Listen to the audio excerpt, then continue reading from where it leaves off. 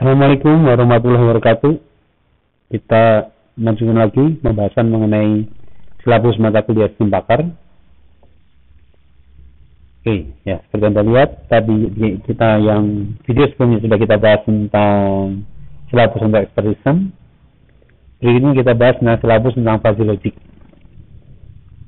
Ya, jadi ini fuzzy logic ini kalau anda lihat namanya diterjemahkan kurang lebih logika samar. Nah, hasil logik ini implementasi AI yang biasanya digunakan untuk arah satu sistem yang tidak membutuhkan eh, akurasi tinggi atau mungkin, mungkin memang pendekatannya pendekatannya sangat sulit untuk mendekati menggunakan akurasi yang tinggi tapi lebih kepada arah signifikan atau eh, apa namanya keberartian.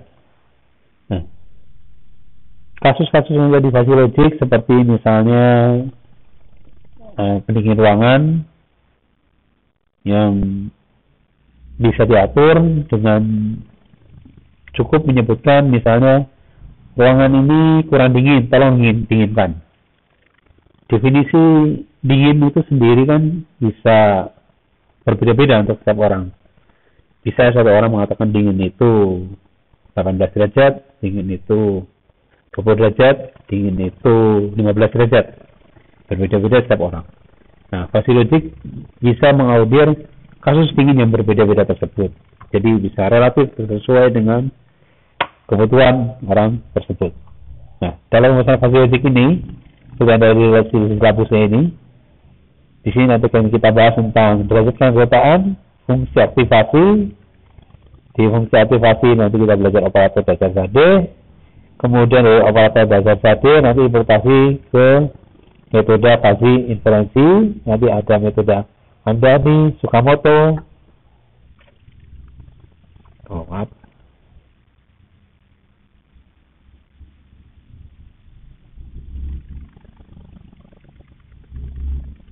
Yang metode yang ditutup ini metode tahdi.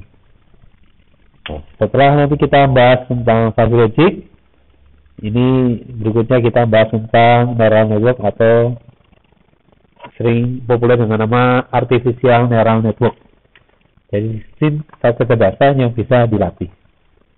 Nah, untuk saat ini ini adalah satu metode yang sangat populer karena AI yang di sini berbeda dengan AI yang di fuzzy logic ataupun di sistem bakar.